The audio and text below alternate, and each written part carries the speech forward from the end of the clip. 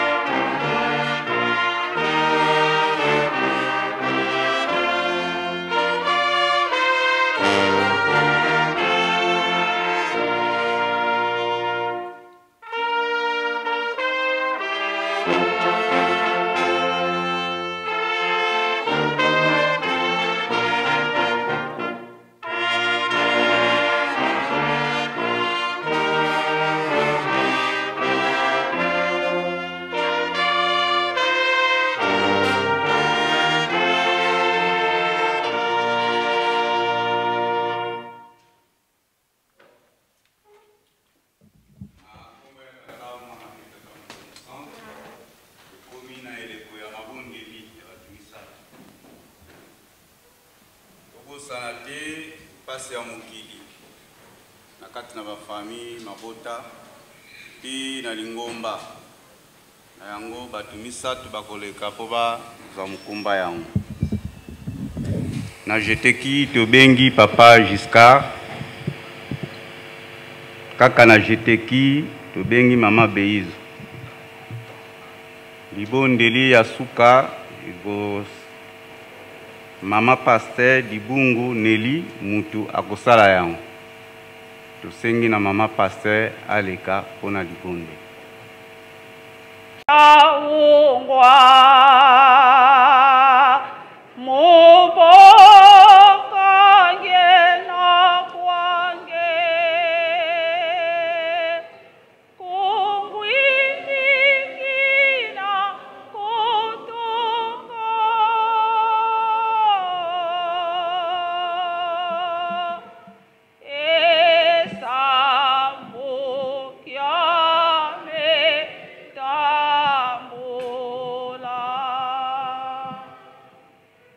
tobondela na nkombo ya tata ya mwana mpe tata molimo mosantu nzambe papa kisolokele nzambe papa dia lungana nzambe papa dia ngena kunsima bino basato ya bule na papa simoni kimbangu kiangani Nzambe na ngai, Nzambe na ngai, Nzambe na ngai, naloba nini to nasenga nini?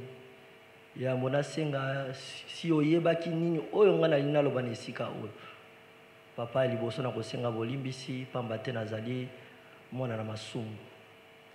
Nakosalaka mai mingi ekosepesaka bokonzi na yo te, Papa. Yango papa nasengi bolimbisi po ete yokoka koyoka kolela na ngai na tango oyo. Papa Simon Kimbangu est ce que katikati na biso tozali koyeba ya solo makambo oyo eloba na biso? Papa yango tozali kosenga epai na yo Nzambe nguya na yo. Soki nguya na yo eza na biso te papa ekozala na biso pasi. Papa tosengi yo nde okamba biso, yo nde okumba biso po ete esika tozali kokende.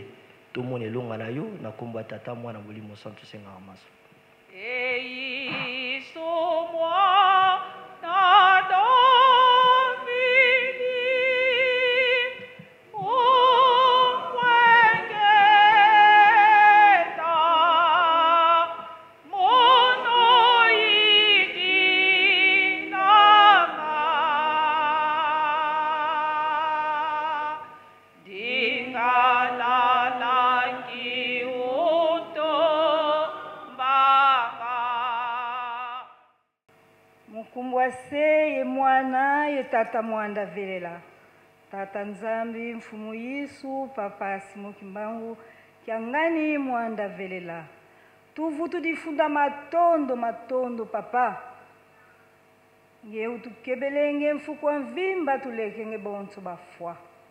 Utu mwese kya. Lumbu kya ki kya velela papa. Nge wa vanga bilumbu sambanu. Wa vana kwa beto twa sala bisalu byeto bya onso no. Kanti lumbu kya sambo dya. Lumbu kya nge ye.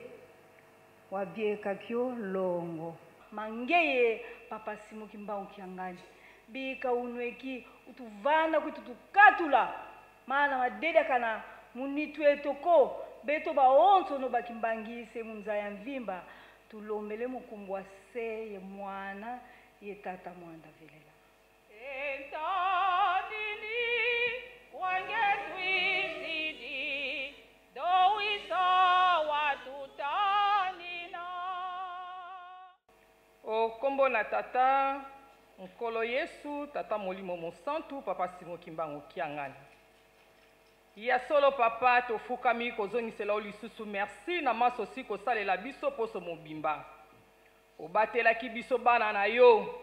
Moko te apesaki kanyaka epai na yo mpo ete opesa ye lisusu souffle de vie oyo.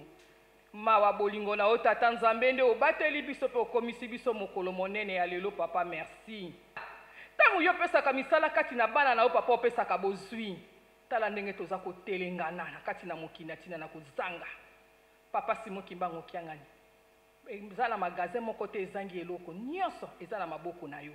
Na mokolo na lelo papa biso bana na yo toye. Bikuke efungwami ezali kokumisa pe kosanjola monene na yo.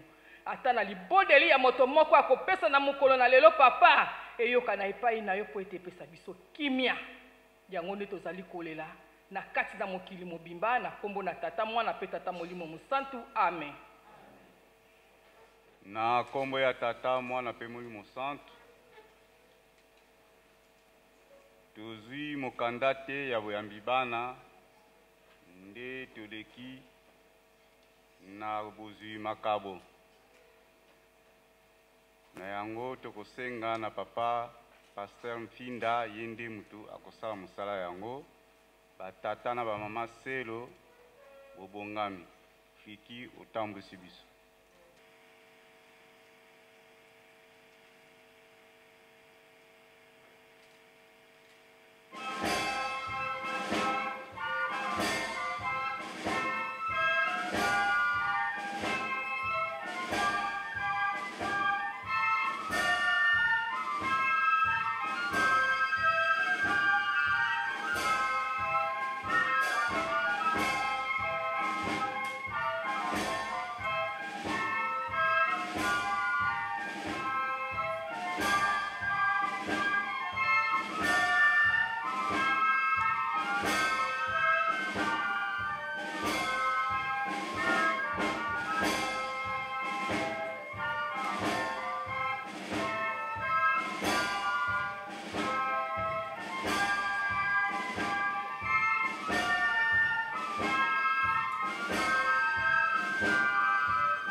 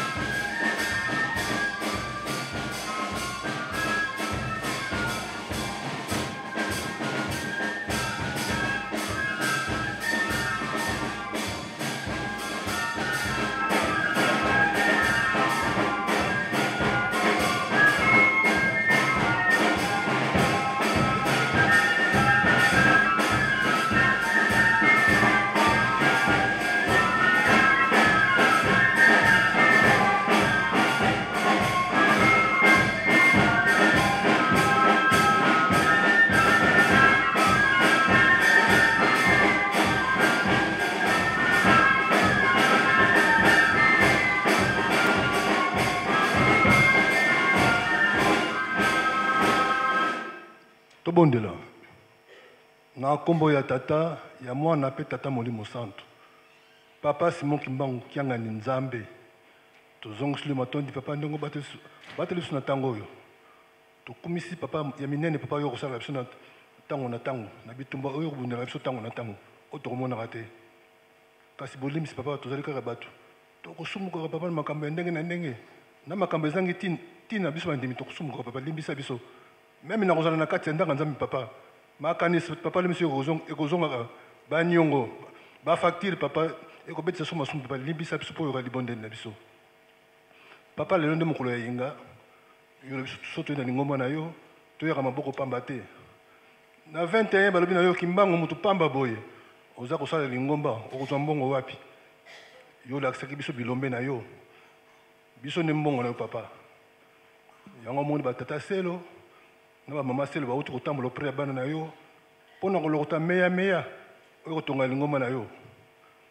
Kasi papa meya meya yango papa tokotia papa euti mpe banzela ya ndenge na ndenge papa yango tosengi opambola yango mpo etonga nde misala na yo oyo batie papa pambola oyo mpe lelo bajute papa pambola prochainement baya batia mpo biso nyonso tonga lingomba na yo Papa apesa biso bamoye papa ya kotonga nkamba mpamba te olobaki na biso soki mpe totongi nkamba te bavi na biso mpe mpe kobonga te yango toza kosenga mpa na yo maboko na biso papa kokanso te pesa biso bamoyen bongisa bandako na biso pesa kimia papa na bandako na biso mpamba te papa soko kimia ezali te moya mpe tosala mosala na yo ezali te papa toza kokomisa biso papa na minene papa yo osaleli biso na kati ya paroisse Pamba te papa tomoni kimia papa ezongi na kati ya paroisse. Pamba te na mokanda wana papa bomoyi elobi bato mibale bakoki kotambola nzela moko te soki bayokani te. Papa na boyokani papa yo pesi biso yango pe misala ezo kosalama papa. Lelo pe papa tozali na misala papa tozali sur na kimia oyo pesi biso tokosala mosala no malamu. Yango nde papa tosengi na yo ozala na biso zala na bandimi na yo nioso papa oyo batie na oyo batie te. na ba tata selo na mama selo na nga pe papa pasteur tosali service papa kobosa na biso te papa biso nyonso toza bana na yo kimia wana papa tosengi ezala na biso kobanda ntango ti ntango ezangi suka na nkombo ya tata mwana pe tata molimo santu tosengaka ntango nyonso amen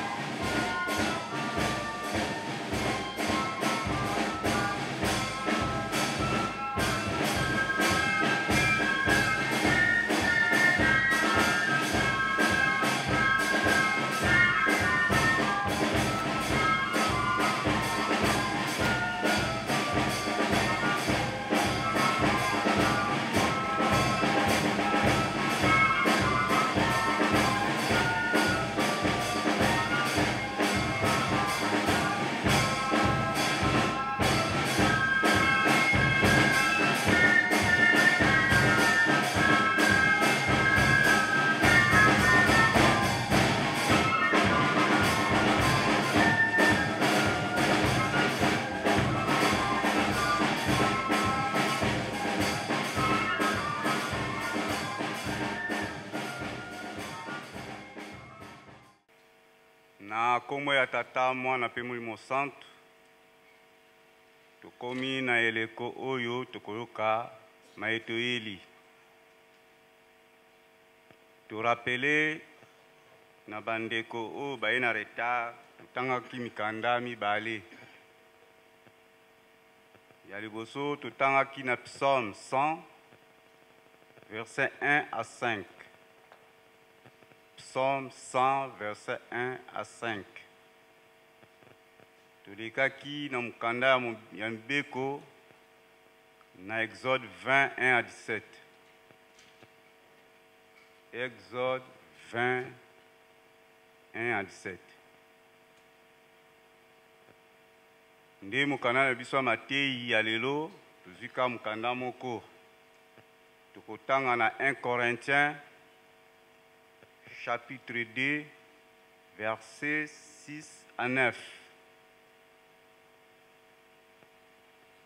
1 Corinthiens chapitre 2 verset 6 à 9. Tokoki kotanga na biso mobimba kino na suka soki toke na ndako. Na kombo ya Tata, Mwana, Tata Molimo Santu. Papa Kisolokele, Papa Dialungana, Papa Diangina Kuntima. Na bino basatu tomoni papa Simon kimbangu kiangani tata molimo santu yo oza bule ngai na telemi awa na mikoki na ngai te salisa ngai pe limbisa nga na mabe po soki otaleli nga na mabunga pasi obu limbisi pe banso toza na esika oyo. Kanisela biso, meme na nkombo na yo tolandi mpo tosekamaka. Lingomba no tolandi ya pasi, tozofingama pe. Yango wana Papa, kanisela biso. Mokumba monene epesami epai na ngai, nakoloba nini? Nayebi kutu place nakobandela te pe suka. Kasi toyoki ba nzembo, toyoki pe mabondeli, Papa. Yango wana papa zala na ngai na ebandeli ya mateyi na suka na kombo ya tata muana pe molimo santu amen na kombo ya tata muana pe tata molimo santu toye totangaki nzembo ya ba yuda top son tozwaki yango na chapitre 100. na nzembo yango ezali nzembo ya esengo. Tokotanga yango lisusu po ete toyeba likambo eza na kati.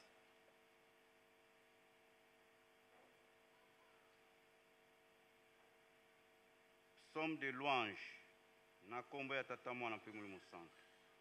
Poussez vers l'Éternel des cris de joie vous tous, habitants de la terre. Servez l'Éternel avec joie. Venez avec allégresse à sa présence. Sachez que l'Éternel est Dieu. C'est lui qui nous a fait et nous appartenons. Nous sommes son peuple et les troupeaux de son pâturage. Entrez dans ses portes avec des louanges, dans ses parvis avec des cantiques celebrer le benissez son nom car l'Eternel est bon sa bonte dure toujours et sa fidelite de generation en generation. Lelo eza mokolo na lomingo, mokolo na Nzambe ndenge toyebili yango.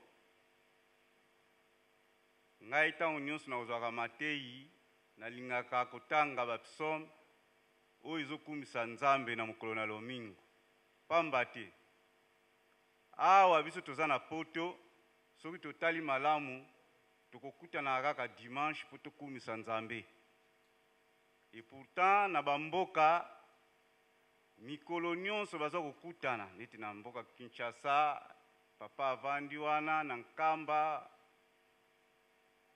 bazo kumisa nzambe tango nionso mais biso toko kutanaka kaka dimanche yango na kati na mukanda oyo balobi tango tozo ya na ndako na nzambe tozalaka na esengo tozalaka na esengo tokanisi semaine mobimba ba tata na ba maman Ntango oyo mingi bakoki te. Misusu kutu likanisi ezalaki vraiment baya mais meme na mbetu balamuki te. Baoyo baza na ba hopitaux pasi ntango mosusu bazolobaa ngai soki nazalaki en bonne sante. Yango wana biso ntango tolamukaka na ntongo. Nga nakolobaka ngo mbala na mbala ezalaka na ngo liteyi soki tolamuki na tongo eza na ngo liteyi mobimba sikoyo tokanisaka lobi est ce ekozala su ndenge wana dimanche tozalaki awa peut etre bilongi muke moto ebakisami mais bilongi nionso mingi tozali Yango wana eza na tina mokolo na lomingo soki toye tokumisaka Nzambe parce que mokolo eza ya ye. Na exode 20 kuna balobi eza mokolo mosantu. Six jours epesameli biso tosala na biso nionso par defaut kutu na ba mbeba tosali pe masumu par defaut. Mais abengi biso lokola toye epa na ye tokumisa ye. Balobi tobetela ye milolo. Biso awa tobeti, toyembi, ba flite ebeti, fanfare ebeti. Place ye moko Nzambe azali, instrument nionso tout ebeti. Yango moto na moto na mosala akosalaka azalaka na esengo. Batata na bamama, na mokanda na Nzambe, chapitre nakangi te, eza koyebisa biso meme nature eza ko enseigner bino te ndenge tuti koloba oyo aza na hopital na minute oyo azokanisa a ah, ngai Soki na zalaki nanga vraiment en bonne sante nde naza nanga na eglise nde nake kumisa nzambe me akoki te na motema effort atelema me akoki te yango wana tata mama biso moto toye awa totali banzoto na biso nyonso eza complet ekumisaka nzambe Biso na lingomba na biso to rapelaka yango tango na tango ba slogan ezali, ba geste ya kosala ezali to salelaka yango.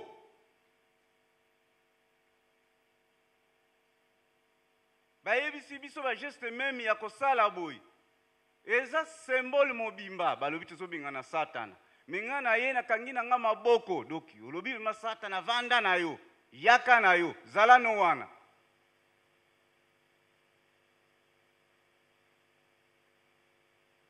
To neglijaka ata eloko moko te okoki kutu kotala te nani yango aza liboso azo pesa ba slogan wana yo kotala wana te pamba te lingomba eza institution mobimba se kangi Lingomba eza ye moko Nzambe. Se ekangi tobetaka maboko tango batelemisi mutu mopaya. Mais ba misusu omona place ya maboko ye azo beta tolo. Te tata maman. Parce que maboko oza na yango salela yango. Balobi te ke tobeta tolo mais maboko.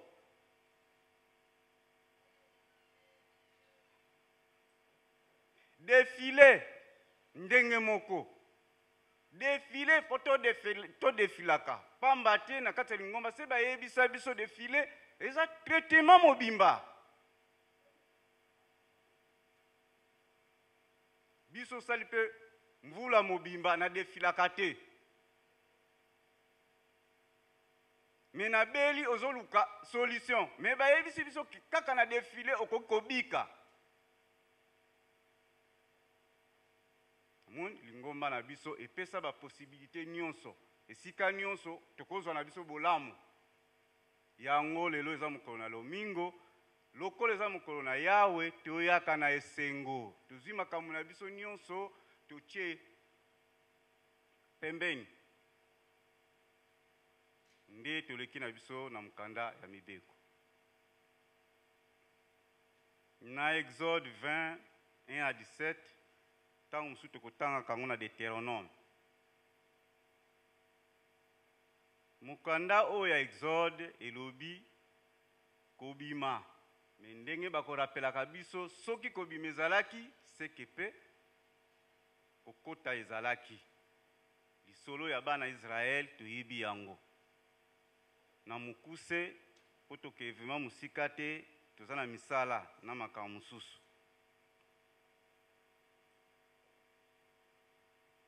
na negligence ya kogo Abraham esala ke bana libota ya Abraham bakenda bowumbu na Egypte yango esala ke bawumela na mboka Egypte. Kasi, lokola eza libota oyo Nzambe ye aponaki, ntango na yango ntango ekokaki, abimisaki bango na mboka ya Egypte, bakende quelque part na Canaan. Mais ba tata na ba mama, totala kowuta Egypte kino bakoma na Canaan, bakesala 40 ans na desert na tina nini ndenge moko makambo yango biso oyo biso tozoleka na yango baprepare bango mpo bazokende mokili moko oyo nzambe alobaki kuna eza kokule le et le miel C'est-à-dire bolamu ezali kuna. Sikoyo tokanisa na Egypte mboka oyo bazalaki toyokaki kuna malamu ezalaki ndenge moko ndeti biso toza na poto.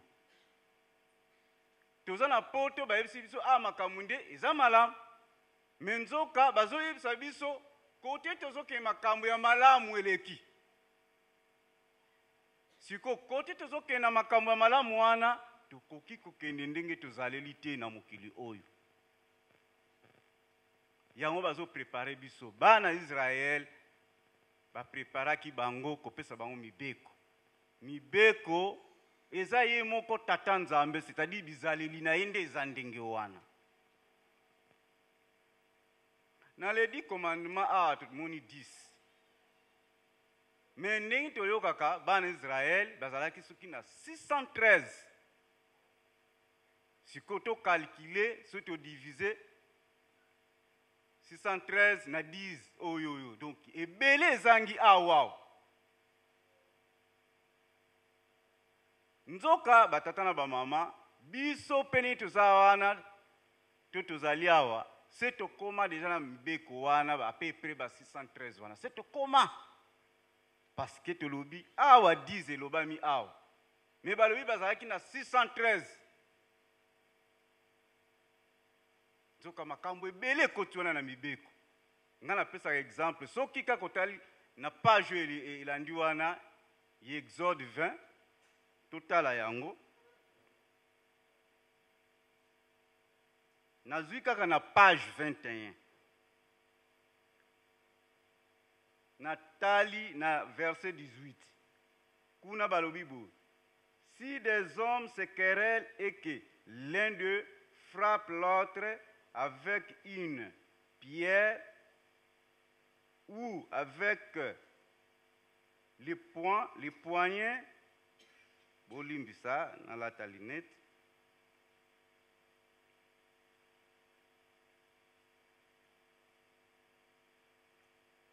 si des hommes se querellent et que l'un d'eux frappe l'autre avec une pierre ou avec le, le poing sans causer euh, le mort, mais en l'obligeant à garder les les lits. Celui qui aura frappe ne sera point puni dans le cas où l'autre viendrait à se lever. Donc totangi kaka mwa ndambo wana, sikoyo tolanda suite na yango ti na suka, ekomi mobeko.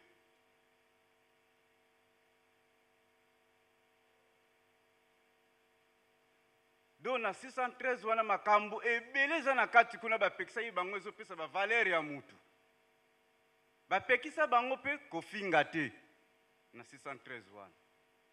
Ba pekisa bango pe ko zala na lolendo te na 613 wana. Mais soki to tali na les dix commandements, ba tata na ba mama, tango wana ezalaki soki obuki mobeko ya les dix commandements ba lapide ngai, ba lapide yo. Bokanisaka kaka ntango wana, soki eza na ntango oyo, tolinga tozala ndeni.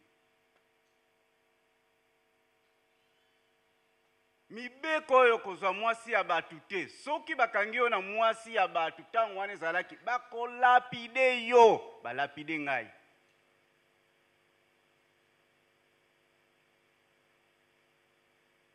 osali ekobo bakokanga yo bakolapide yo na ntango wana ezalaki ni wana Etumbu na ngo eza kinois.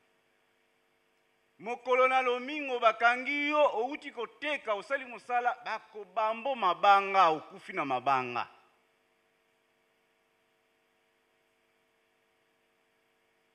Totali.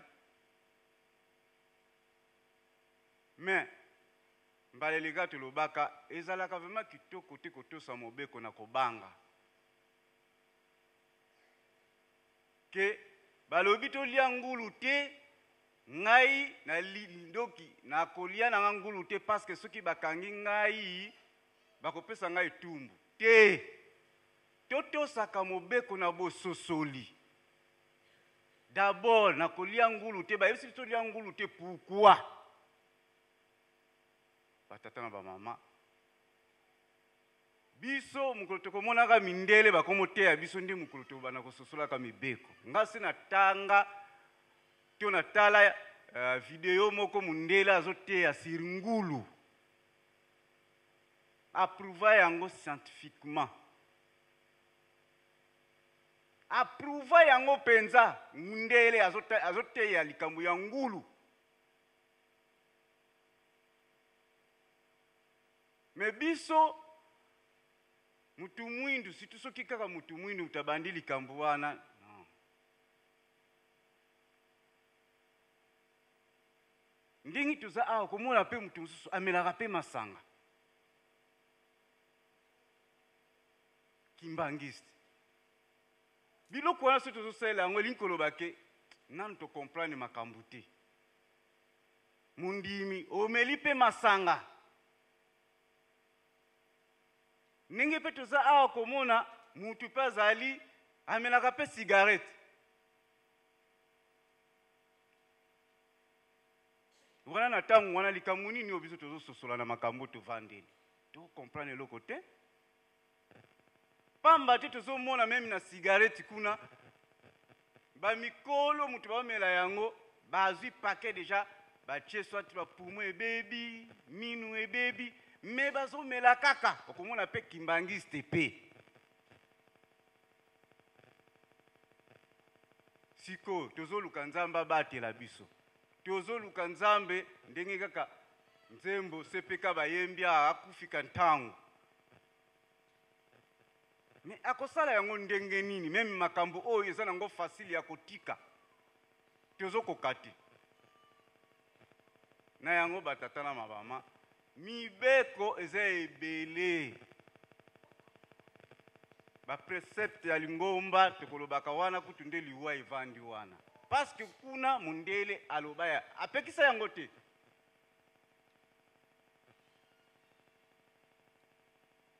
Biso balobi mibali na mibali bakobalana te, basi na basi bakobalana te, me awa balobi eza nango normal. Nzoka yango elukaka Nzambe atomboka mpo aboma mokili yango.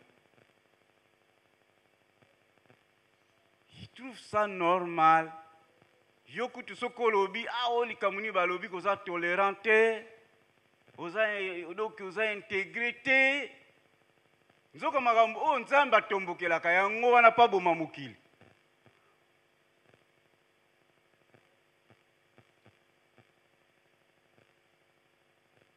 tomelaka masanga te mondele alobelaka yango eloko te mpo na mbongo aye kutu apesi mwa conseil ka ya moke mela yango na mwa moderation epuis becriture na yango akomaka yango okotya soki otye karte okomona yango kutu te Mais biso nzambe oyo aza na bolingo ayebisi biloko wana kuti bomelaka na bino yango te esalaka esengo ntango tomonaka meme bamedecin biloko ya liboso atunaka yango wana esalaka esengo azotuna yo omelaka masanga ah, non ofimaka non biloko nyonso tokomona non non non non doki epesi dia kitoko toza épargne Nde tolobi mokomona ki kimbanguiste pe ne toza boye pona ayebi na ngai te hein? yango nazoloba ntango mosusu batata na bamama mibeko mibeko ngai alobaka yango eza nango telema malamu meme mpo na basante na biso Eza nango malamu meme pona ba valeur mibeko na le dit commandement soki oyibi leta akokanga yo obomi leta akokanga yo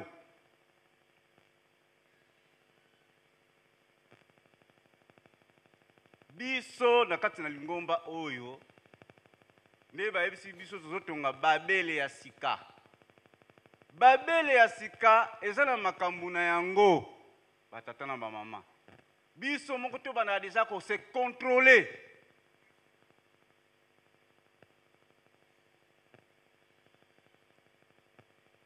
Mibeko eza vaste. Eza science mobimba, mibeko. Soki biso nyonso tu tososoli yango, meme mokili oyo ezwi nango kimia. Kimia na mokili oyo po eya, eza nango minduki te, biso moko tozomona. Kobanda kosala minduki ebandi na nini? Kozanga kotosa mibeko, lolendo. To tala kaka na mboka Ukraine. Mboka mobima oza ko mi tuna mais ndenge nini mboka eko koma boye? Ba panzi yango bazo luka ba bandela susu bitumba kaka esika wana osika ozo mi tuna po ba bundela nini? Minduki wana nionso tout et misusu nanu ebeta te ba tata na ba mama nde tozalaka boye. Na mitunaka sikoyo minduki wana eko gate bakosala yango nini? Danger oyo toza nango na mokili oyo minduki mosusu nano ebeti te bamosusu atelemi kaka abeta yango bamisusu kuna ba oh non mpo na lwa boye mpo na nini boye akoki kobeta te mais toyebi te Danger oyo toza na ngo na mokili mais biso bazo pesa biso oyo eko sala kimia a partir ya mitu faut to se controlaka ndenge kaka toza boye bisika tozali na ba ndako na misala na kati ya ba mouvement tozali il faut se controlaka nga bizaleli oyo naza na yango lobi lobi Est-ce que nakoya kosala bombi te? Ozongisi su mokili nsima.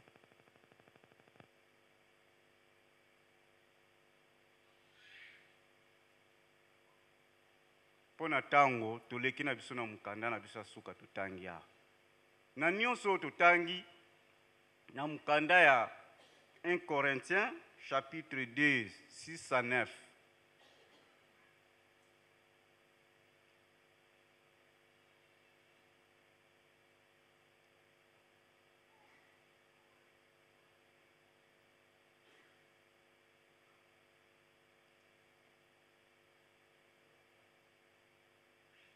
ndenge kaka touti koloba na mokumba oyo biso toza nango na lingomba oyo bayebisi biso Mayele oyo biso toyekoli, sagesse, ezali ya mokili oyo te. Biso mayele bazokozesa biso, meme bato na mayele, bokanisa kaka bato na mayele baa na yango te. Do bato batangi baa na mayele baa na yango te. Meme bakonzi na mokili oyo mayele oyo biso bazo yekolisa biso bango baza na yango te. To imagine kaka ba bakonzi na mokili oyo ni na mboka oyo ni toza boye mayele oyo biso tozo yekola bango baza na yango te. Makambo oyo oyo biso bayebisi biso bango bayebi bayebi yango te. ba tata na ba mama toza na mokumba moko eza terrible ti tovandi awa bosusu toyebaka te imagine kaka likambo oyo mokili eyebaka te bato ya mayele ke nzambe aza nazaka na mokili oyo do bato ya mayele bayebi te ke nzambe aza na mokili nde toza boye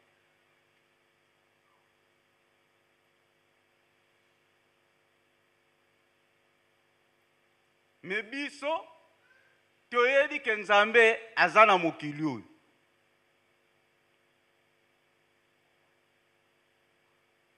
Bato na mayele bayebi te ke lingomba oyo moto ekotya kimia na mokili, bayebi yango te. Donc kimia biso bato tokotya yango na mokili oyo oyo. Yango tolobi kontrolaka bizaleli esika yo ozali. Oza komiyeba vrema, oza komituna eske nga naza vrema na susi ya kimia na mokili? Il faut bandela yango esika yo ozali. Parce que soki deja mayele na yo ezali deja ke ozalaka deja na makanisi ngai ki il faut nabunda oza deja ecarte ke ngai fo babanga ngai mpo nayebi koswana oza deja ecarte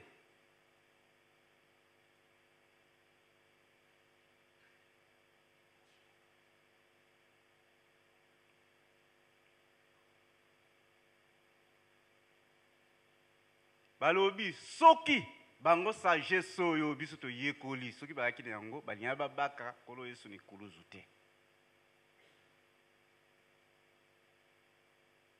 Bato na mokili oyo, soki bazalaki mayele, balingaki babaka Nkolo Yesu na ekuluzu te. Yango toza komona likambo moke kaka boye, minduki etelemi, Likambo moke kaka boye ba minduki etelemi biso kutu na mokili touta pasi victime yango wana ba tata na ba mama biso toza na mokumba monene ya kimia na mokili oyo papa slogan ne yango wana kaka kimia kimia kimia.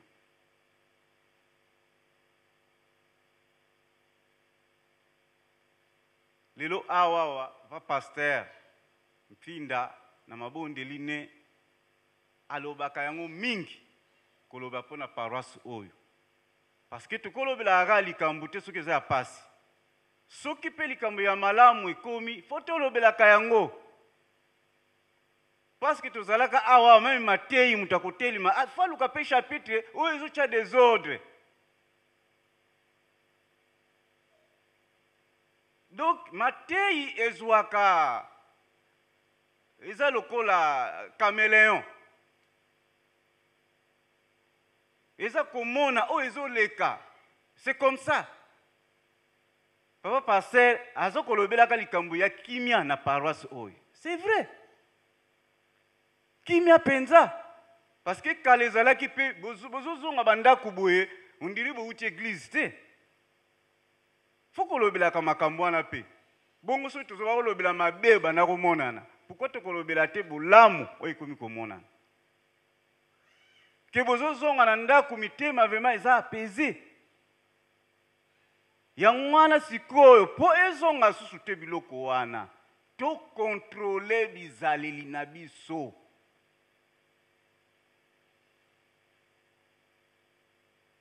Mondimi aza na elobeli. Soki tozotanga etambwisi la lingomba ya 2008 na page ya liboso Balakisi ouverture papa azalaki na page ya suka fermeture papa azalaki sikoyo makambo ekangami na kati.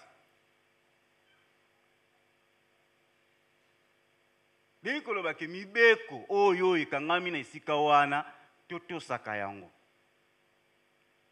Etambwiso ya lingomba eza kolakisa ke meme elobeli Parce que biso toza libota na nzambe bayekolisaka yango ba tata na ba mama meme na monarchie na tala mariage ya prince soki pe oyo ya suka soki ya mibale na bosani date mais na ezalaka mariage na ye elekaka le meme jour na papa arnaud majema Mariage wana elekaka ya papa majema elekaka na na na na Belgique. Prince wana abalaka mukolo wana.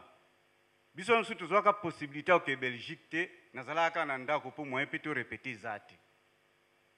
Navanda na ndako nazolanda mariage wana, nazolanda nazolanda nazolanda mais eloko moko e choka ngai place nalobelaki ke do biso bato tosambelaka toza na lingomba oyo fo totika maseki. C'est-à-dire, bazoyekolisa biso bizaleli oyo eza ya tata. Faut tozala ndenge wana. Kuna eloko nini namonaka? Bapekisi mwana mwasi nyonso tout aya mutu verte te. Faut azala na mutu ya kofinika. Ata alati kitambo, balati bitambala te, ba misusu balati bikoti, asoki koti pe kangi te, mais eloko moko kaka na mutu. Et puis decemment. soki toke na bandako totya bavideo ya mariage ya tata wana bokomona epuis desama basi balata desama basexpose te na mariage wana après nazolanda bacommentaire na ezolekela babandi koexplike ke ah, tala nde bayekolisaka mwasi oyo prince abali Ndenge nini akokota na voiture? Ndenge nini akokita? Ndenge nini faut azala na e place batu baza? Ba tata na ba mama. Mais biso toye na kati na lingomba oyo ya Nzambe, oyo ya Nzambe. Azolakisa biso ndenge nini faut tozala. Mais à des fois ekomi compliqué.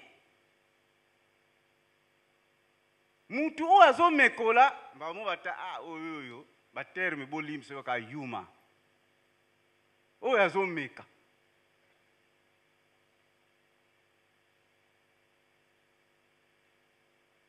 Tu es komi complique complique et pourtant biso nyoso to matei papa tozo yoka ngo biso nyoso nzela moko mais toko yawa tokutana kaka dimanche ba tata na ba mama. Towutaka misala okoti ndaku lobi su musala ndaku mais ce que toya kokutana awa mais kaka omona biso na biso kaka ah oyo wana oyo wana te tomekola bizaleli ya lingomba donc eza ndenge mosusu batata na bamama oyo oh, tozosala wana faso na biso eza forcing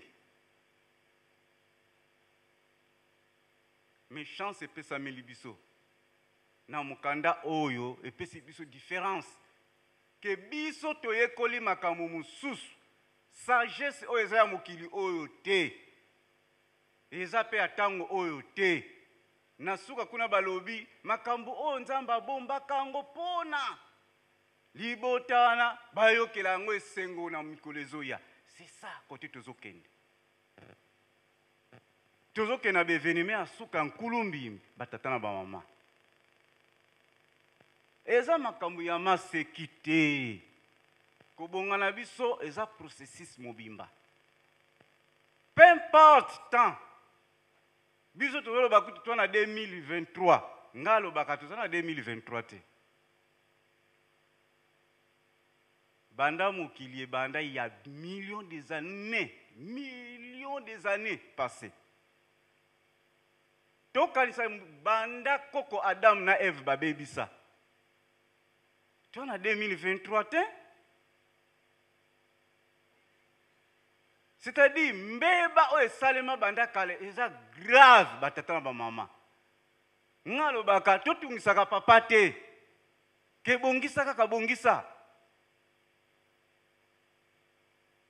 Nzambe alobi na Genèse, yo Adam, mbuma oyo bolia te. Soki bolie yango bokokufa. Nzoka ntango azopesa bango mibeko wana, bazalaki malamu. Donc nyonso tu bazalaki na yango. Me mutu moko awuti soki wapi aye kokosa ye. Oh non kuta kosi na ye. Akosi.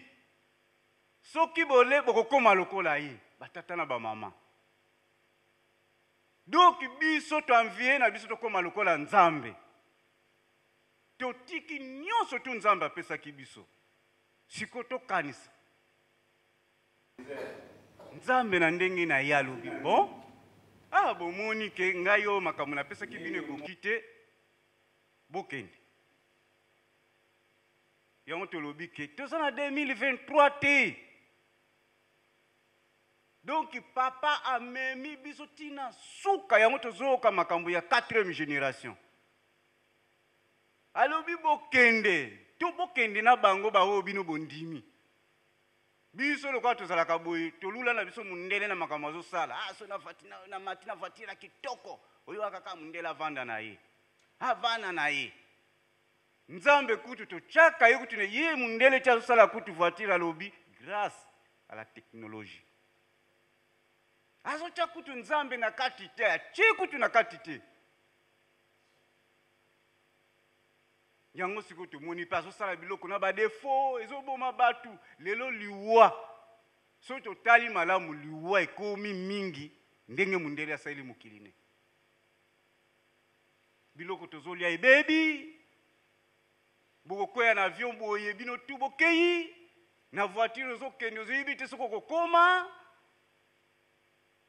Do riske ya liwa ekoma mundele moto asali yango. Nzambe alobi bokende ti na suka, ti na suka. Totali mokili ndenge aku, totali mpena ndenge place akomisi ti tokokoma na mpo wana biso moto olobi te te te te te te. Azo mema biso esika wana. Alors, biso moto wana lingomba, tokangama na lingomba oyo, ata kutu bambe bango mabe na biso, tokangama na yango, tokangama na ye, oyo azotinda totonga Yerusalem, tosepumone. Tokangaka maboko te kotonga Yerusalem, lobiko eza esika wana, pa ya Nzambe eza ndenge wana. Bana ya Israël babimi na Egypte nzela nzela okoyoka bitumba ah, mi nzambe lisusu obimisaki bango kuna na Egypte ezalaki vema na pete me bakoma na kana fo babundaka lisusu c'est comme ça pa ya nzambe sacrifice me place wana batata na bamama tolinga tolinga te Tokokoma esika wana Nzambe oyo place azolingela. yango wana batata na bamama tozala mayele likambo biso toza na yango eza telema soki bozotala malamu lelo oyo tokómi na bavalere mosusu kimbangiste lingomba oyo ekomi opesa esengo mosusu omona papa na presence ya papa kala ezalaki ata kutu mutu me mutu oyo aza deja na mbongo na ye oyo aza deja mokonzi aya epai ya papa oyo azomona mutu asimilie ndenge wana kala ezalaki vrema mpasi me la mutu nyonso to aosentir ke soki aza liboso ya papa ke asentir vrema ke na liboso ya moto mosusu Biso tosepela, batata na bamama, mokanda oyo ntango tokokoma na ndako, tokitanga yango ti na suka, suite na yango ndenge ezali. Vu temps na programme toza na yango, batata na bamama, likambo tokokende na yango, lingomba oyo tobatela yango. Tokobatela yango, c'est-à-dire na façon na biso ya kozalela. Place oza oza ko se controler to longwa na biso na makambo oyo eza na ngo vraiment ya malamu te lolendo lolendo bokolimbisa la chorale d'urgence nzembo wana soki refrain na ngo eza koloba tika lolendo e eh, soki bozo koyeba bopesa biso nzembo wana komisa tosukisi na biso mateya esika wana Moyindo sosola il faut ezala yango wana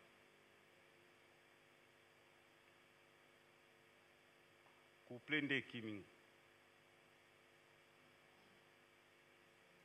to mema na biso yango mulayi te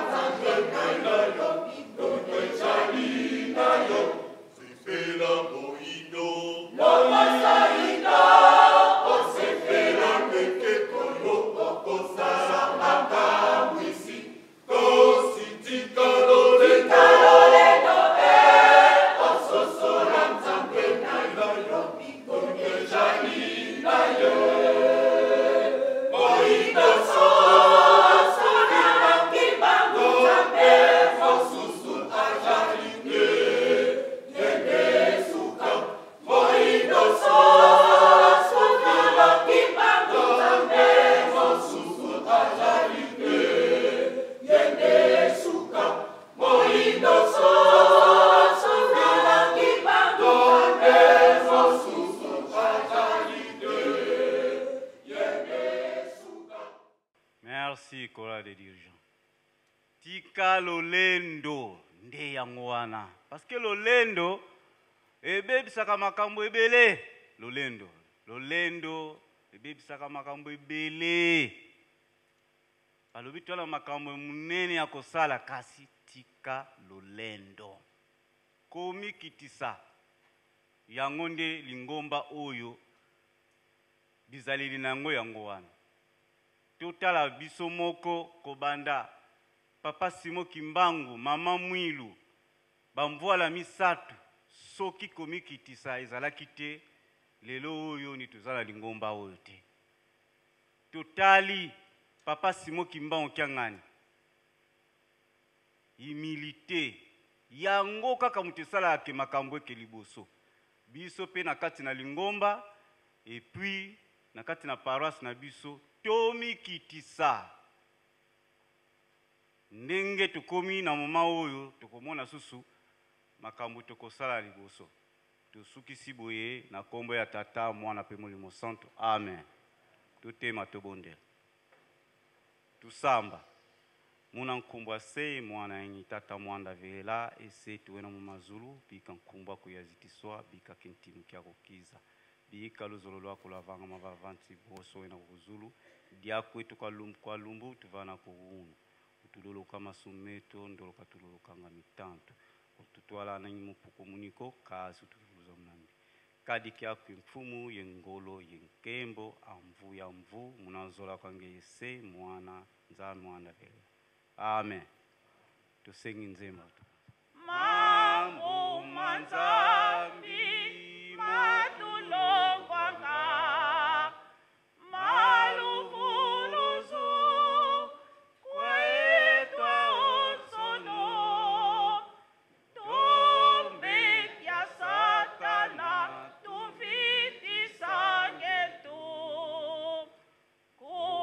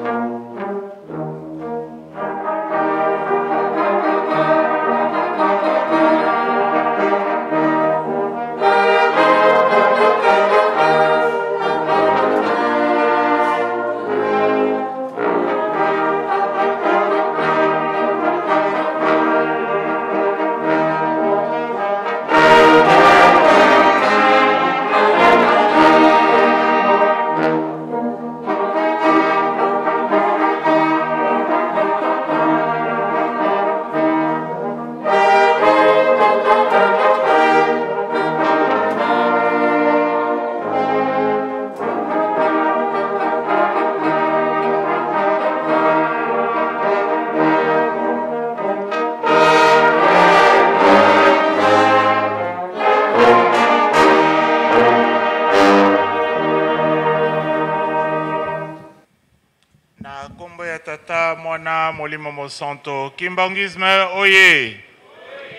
Kimbanguisme oye! Kimbanguisme oye!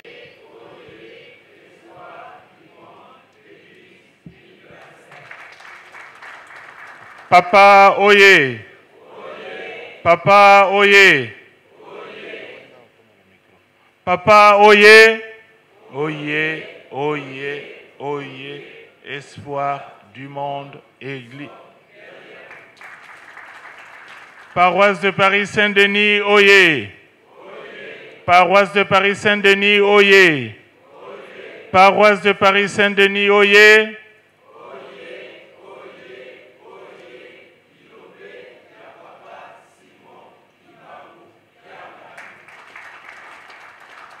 Kamba oye. Kamba oye. Kamba oye. Oye.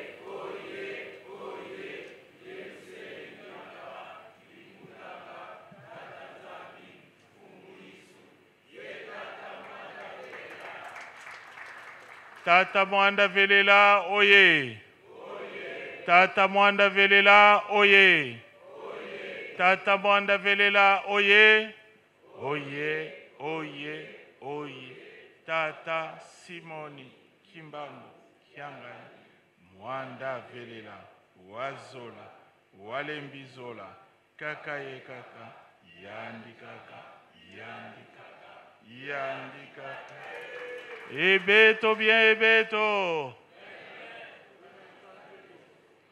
na kombo ya tata mwana molimo mosantu tokoti bongo na parti sociale mateya na biso na mokolo ya lelo epesameli biso bongo na papa Selo Gerado Lando ye atangeli biso liboso kati na ba nzembo na psaume chapitre 100 verset premier ti na 5 mibeko ye akamati kati na mokanda exode chapitre 20 verset premier à 17 pe mateya na biso ya mokolo ya lelo Ye atangeli biso kati na Première Epitre aux Corinthiens na chapitre 2 verset 6 ti na 9. Biso banso tolandi mateya, maloba Tata Nzambe apesi biso na mokolo ya lelo à travers predication ya Papa Selo. Yambo toleka na ba communiques, tokosenga na bandeko na biso ya Fluki Ezali bongo ba mbuta ya Fluki, bango baye awa pona bakoka kotelemisa comite kati na Fluki Saint Denis. Temoignage na bango yango oyo tokotanga nde tokobenga ba mbuta baleka liboso au nom du Père, du Fils et du Saint-Esprit. Veuillez trouver ci-joint le témoignage de la délégation de la coordination Fluki Europe en visite au sein de Fluki Saint-Denis du samedi 15 au dimanche 16 avril.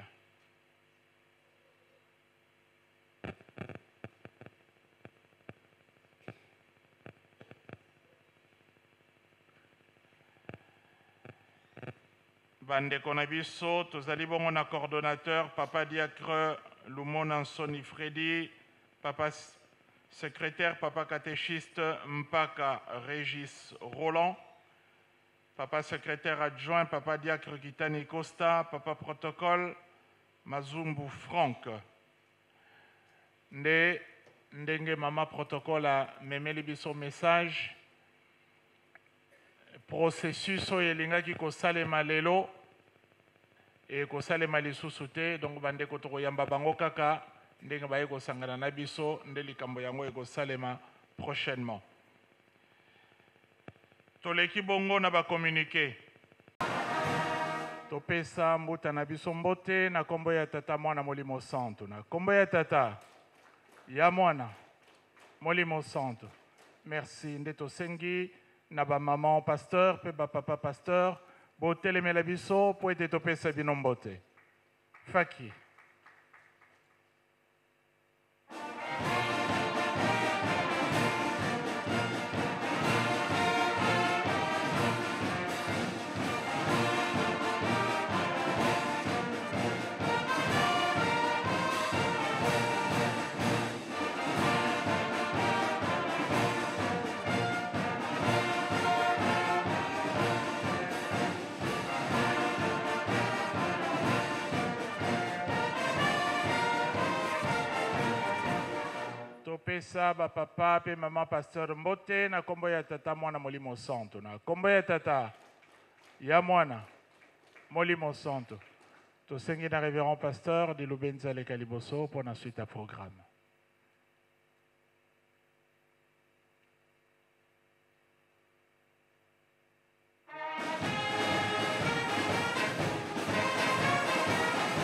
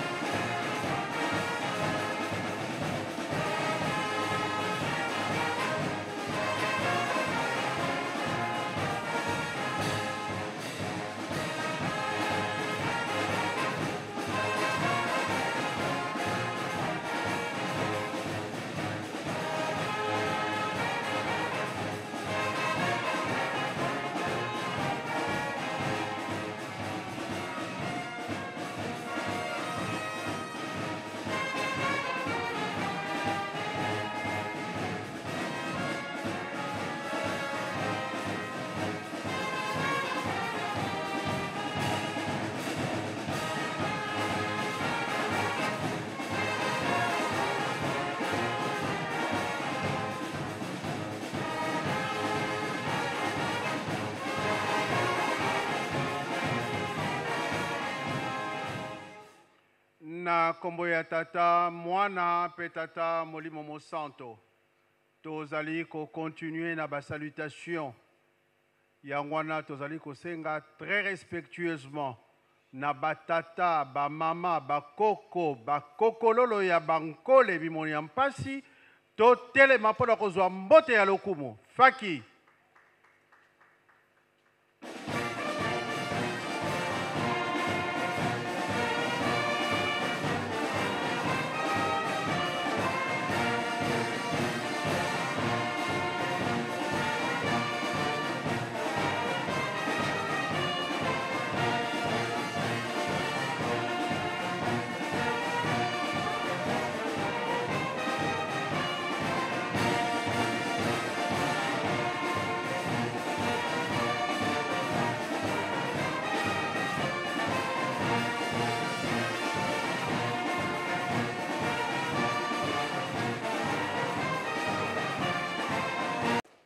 bovanda na bino na nkombo ya tata mwana mpe tata molimo mosanto tozali na esengo makasi na mokolo na lelo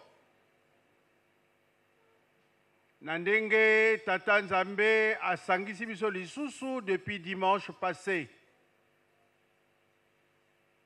Pe lelo toza na baninga bawuti na ba paroisse mosusu. Tozali pe na ba mama pasteur na biso oyo baye ko partager culte lelo na biso. Na Fluki toza na ba mikonzi oyo bayaki na programme monene ya kosala, balobi que programme wana ezali ajourner. Tokozala na disposition na bango mpo ete mokolo oyo elongobani bakoka koya basala likambo ndenge ekosalamaka na ba paroisses nionso. Tozali mpe na esengo. Ndenge yango elobami mama na biso mama Claudine ye avandi na biso mosali monene qu'il vente qu'il neige ou qu'il pleuve ye azalaki toujours na biso lelo yo emoni ye te akoki kozonga na rdc topesi tosuete ye bozongi malamu Epayi mama okozala mema mbote ya ba bilombe ya saint denis pe lakisa kuna te yo pe ozali elombe saint denis oyee wana ezali appartenance ya ba bilombe epayi okozala mama mwinda ya elombe emonana na engagement na yo po ete yango ezali ndenge wana tango tobengami ba bilombe Yango ezali kokotisa biso na kati na mateya na biso ya mokolo na lelo.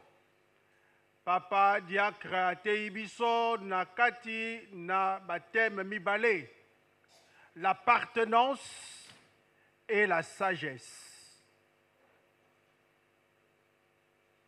Tata, maman, ngai na yo tozali awa nous appartenons à la sainte trinite. Tata, Mwana, mpe Tata Molimo Mosanto, mpo ete tozali baponami, nous sommes un peuple elu choisi oyo Nzambe apesi te tozala na ye ntango nyonso. Mais il faut toyeba que appartenance na Dieu ezali likambo monene, ndenge yango ekomami na Proverbe 20, verset 25, C'est un piège pour l'homme que de prendre à la legère un engagement sacre. Ezali piège epai ya moto mpo na kozwa na bolembo, na kosakana, engagement sacre. Kozala mondimi ezali engagement sacre, mpo tozali ko appartenir na Tata Molimo Mosanto, oyo esengeli ngai na yo to vulgariser nkombo na ye na mokili mobimba ndenge bateyi biso. na ezaleli, evandeli, esaleli, na respect ya ethique kimbanguiste oyo ekomami na kati na etambwseli ya 2008 ndenge Papa Diacre alobi yango. Donc esengeli na ngai na yo mpo tolakisa tozali bana ya Tata Molimo Mosanto, totambola avec sagesse. Ce n'est pas la sagesse matérielle, ce n'est pas l'intelligence matérielle, mais c'est la sagesse et l'intelligence spirituelle. Oyo tozali kozwa tango nyonso na mateya oyo tozali kozwa na trilo, trilogie monene tozali na yango bolingo, mibeko na misala. Yango ekolakisa véritable appartenance na biso. La sagesse Mokanda na Tata Nzambe na Proverbe 8 verset 12 elobi la sagesse a pour demeure le discernement. Mpo ete moto aloba te ye azali sage, il faut azala na bososoli. Mpo ete sagesse ebombami na kati na bososoli. Or, tolobi te bobangi Nzambe ezali ebandeli ya mayele. Donc, mpo ozala na bobangi ya Nzambe, il faut ozala na bososoli, mpo ete sagesse ya Nzambe evandi na kati wana. Tata, maman, est-ce que ngai nazali sage? Est-ce que yo mpe ozali sage mpo na kosala lecture ya temps? oyo tozali ko traverser, kotala, kosala lecture ya processus na ba etapes oyo Papa Simon Kimbangu azali koloba tango ye alobi 2023 tozongi na zero, yo o comprendre yango ndenge nini? Sagesse na yo ososoli yango ndenge nini? Yango wana tata, maman, esengeli na ngai na yo toyika mpiko. Na kati na mosala oyo yo epesameli biso, ba nzembo eyembami ebele awa. Nzembo elobi na biso, Kalu yoyi ko muna sambila, kalu yoyi ko muna sala, muna sala esalu, nsendo ampueni asilwa tambula. Tolemba te na kobondela. Tolemba te na kosala misala, mpo ete elonga na biso ezali na kati esika wana. Na nzembo mosusu CPK alobi bana bo milengele mpo ete bolonga. Donc tata mama zala na sagesse mpo omilengele na etamboli na yo na kati na mokili. Mpe tosala mosala ya Nzambe, mpo ete ngai na yo towutaki likolo toyaki na se mpo na kotonga kaka lingomba moko oyo ewuti likolo ekiti na se epesameli ngai na yo. Yango wana, tata, mama, ntango nyonso bapapa bapesaki biso ndenge ya kotambola, mpo bayebaki ke mokili ekolinga biso te, biso tozali. bato na mokili te. Toza na mokili me tozali bato na mokili, toali bana ya Tata Nzambe. Mokili ekolinga kosalisa biso te. Yango wana bapapa bamoni te bana na ngai bozala na mayele ya kosala bino moko. une auto-gestion, une auto-construction yango ezali kosala que tozali kotonga na ba nsinsani, nous avons cette experience qui nous a ete donne yango wana lelo ba tata na ba mama tozali na nsinsani. Yo obongami ndenge nini? Mpo ete ozali kotonga na place na yo, moto oyo akosalaka ayebi tina oyo ye akosalelaka. Moto oyo akosalaka mingi, bakopesa ye mingi, moto oyo apesaka moke, asalaka moke, bakopesa ye mpe moke. Yo, olobi nini? Tozala goigoi te na liboso ya Tata Nzambe, mpo ete ye ayebi oyo apesaka biso, mpe ayebi oyo biso tokopesa ye. Yango wana, topesa epai ya Nzambe banque oyo eleki banque ya Nzambe, batata na bamama, eza te. Soki otie yango na banka, ekosila, mais epai ya Nzambe, yango ekofandaka seko, mpo ete yango ekotongela yo ndako. Wana Nzambe moto alobi yango. Donc, vraiment, tobosana appartenance na biso te. Moi, mbula, yika mpiko mpo ete elonga ezala. Yango wana lelo bateyi biso na appartenance mpe bateyi biso na sagesse. Na kati na ba communiques epesameli biso, bapesi biso ba nouvelles, ba informations necrologiques.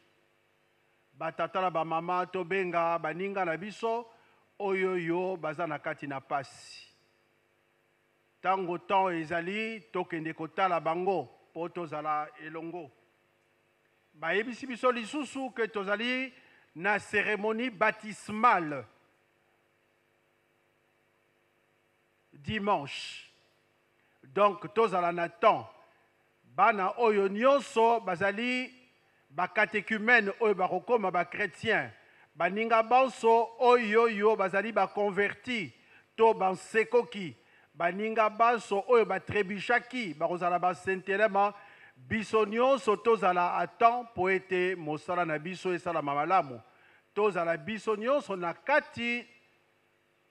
Na mabondeli mpo ete Nzambe asalisa biso tobosana te ba tata na ba maman que chaque semaine tokutanaka na soiree spirituelle oyo ekozalaka lundi, mardi Jeudi, vendredi donc semaine ezali pamba te tokutanaka ba maman mercredi donc tobosana ba tango wana te mpo ete toyika mpiko na kati na mosala oyo epesameli biso tosilisi wana na kombo ya tata muana mpe tata molimo mosanto amen.